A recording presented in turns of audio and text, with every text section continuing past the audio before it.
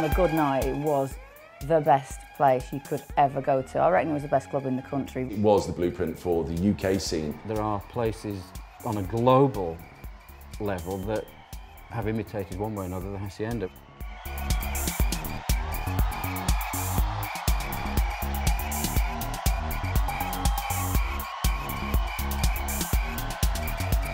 It's 11 o'clock Saturday morning and I'm well up for it. Tonight's going to be a big night for me. I'm doing the door in my own nightclub, the Hacienda.